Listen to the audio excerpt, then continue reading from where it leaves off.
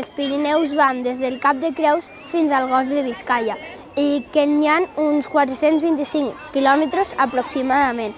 I entre tot aquest recorregut hi ha danses tradicionals que s'estan perdent i són molt divertides de ballar.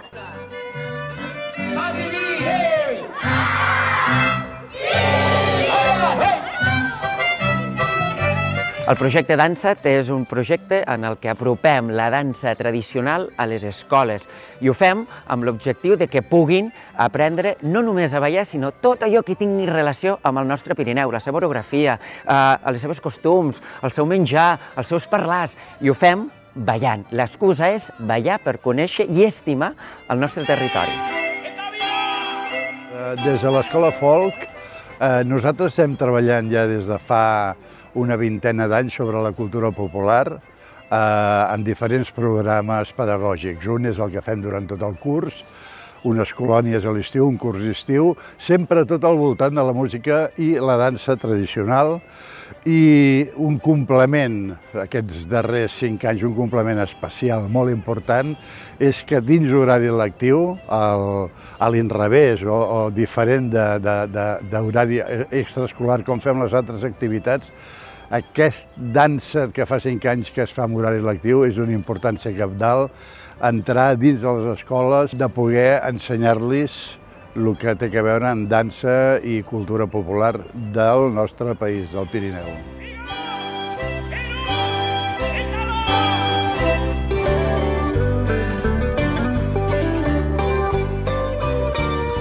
Doncs a l'Ajuntament de la Seu vam rebre aquest projecte amb moltes ganes i molt entusiasme.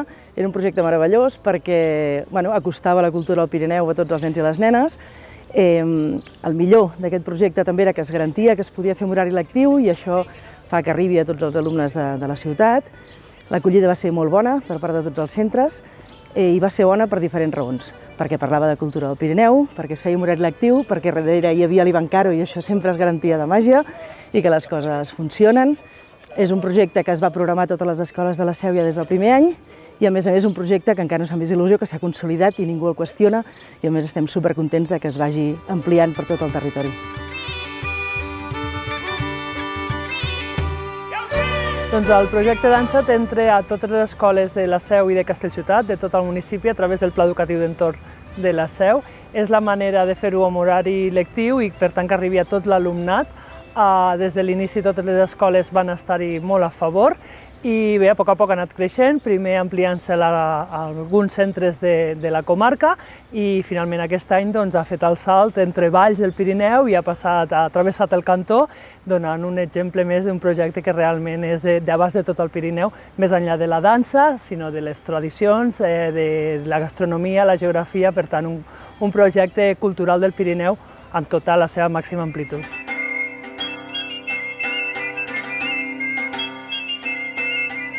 A mi el que més m'ha agradat del Dansat ha sigut és que, que hem après de l'1 al 7, eh, els números de l'1 al 7 amb euskera i que també hem après moltes noves danses.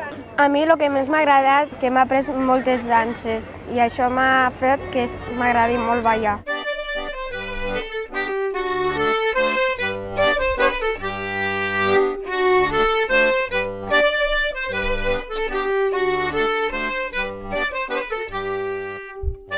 Des de l'escola es valora molt positivament aquest projecte perquè, per una part, els nens eh, s'estimen més a la seva terra perquè descobreixen que allà on viuen, al Pirineu, eh, hi ha unes danses precioses que s'han de recuperar d'alguna manera. I, per altra banda, doncs, és una passada perquè els nens venen supermotivats, ai, quina dansa aprendrem, però no només una dansa, sinó que, Maria, ostres, i quin instrument ens ensenyarà avui?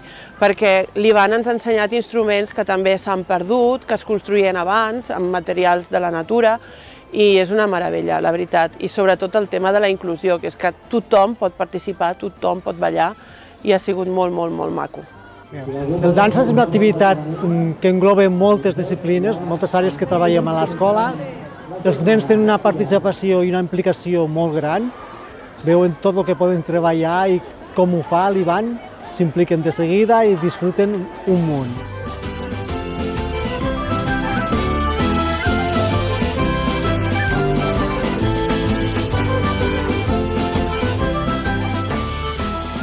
Valorem de forma molt positiva perquè és una forma de treballar la identitat cultural i la cultura del poble a través de la cohesió de grup, del joc, del moviment. A més a més, l'Ivan Caro ho fa d'una forma tan amena que fa que tothom participi i ho fa de forma activa i global.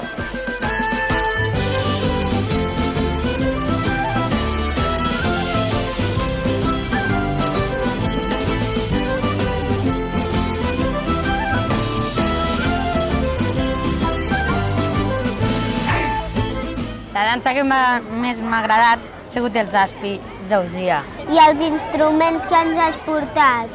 Eren molt divertits. Thank you.